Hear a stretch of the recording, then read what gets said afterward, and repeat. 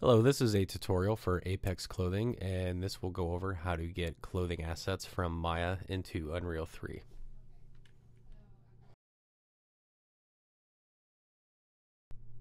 The first thing that we want to do is look at how our, our layers are set up in Maya. So I've set up a CTDM layer and a coat layer and a cape bones layer. This character doesn't have any cape so you can just leave that layer turned off. So let's go over to our Hypershade and look at how these materials are set up. We have two materials on the crash test dummy for the head, hands, and feet, one for the body, and then one for the trench coat. Maya will automatically give these unique material IDs upon export, so you don't manually have to do that here. That's only for Studio Max. And we can see here that we've got some some good simulation on our on our coat. So let's go ahead and put the character back in bind pose. And we'll go over to File, Export All. And the first thing we're going to do is export the FBX, which will be used as the skeletal mesh in Unreal 3. So we're going to go ahead and navigate over to where we want this file to be exported in our file dialog. And then we're just going to double check our FBX export settings to make sure smoothing groups, and skin deformations are included. And since Maya is Y up, we're going to go ahead and export to Y up as well.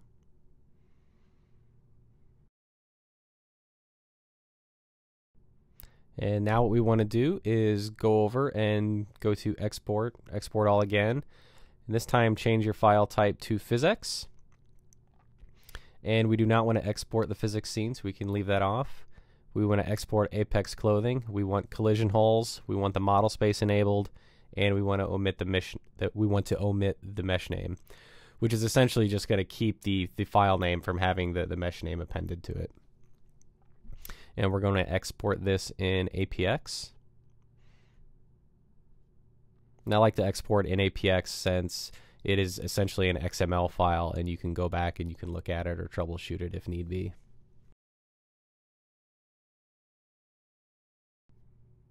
And you can see here, this is what our APX file looks like in Notepad++. It's just XML.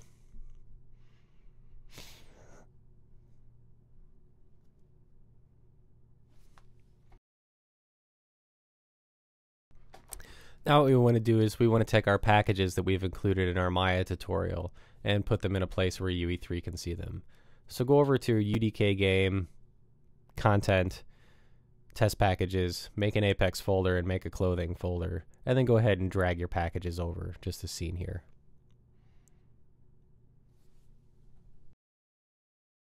Now that we have our stuff exported from Maya, we want to bring it into UE3.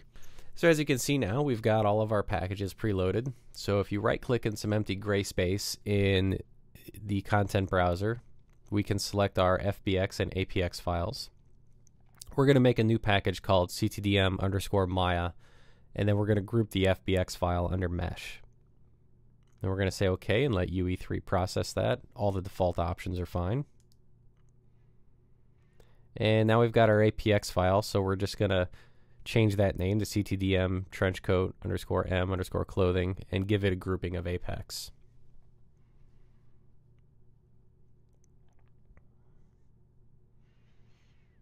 Now we've got our assets in the UE3 and it's a good time to go ahead and save our stuff out.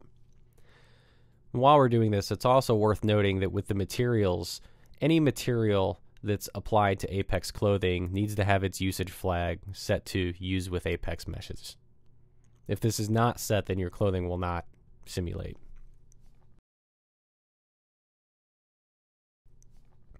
Let's open up our skeletal mesh, which is ctdm trenchcoat underscore m, and let's go ahead and add the materials to the material slots.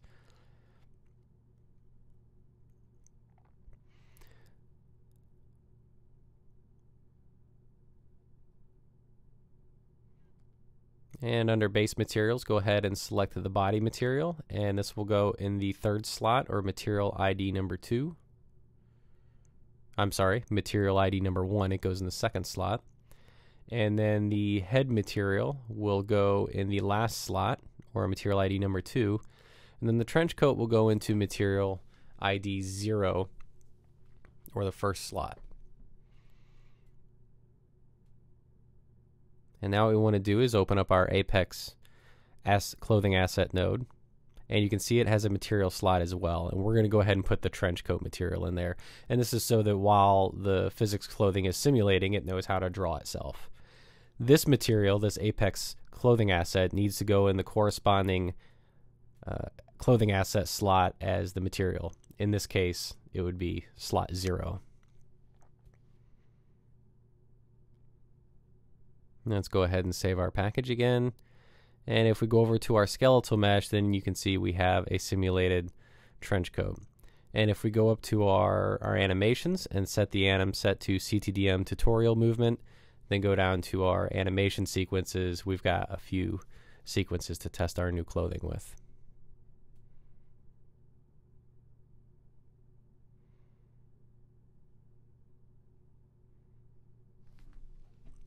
And that will conclude bringing a clothing asset from Maya into Unreal 3.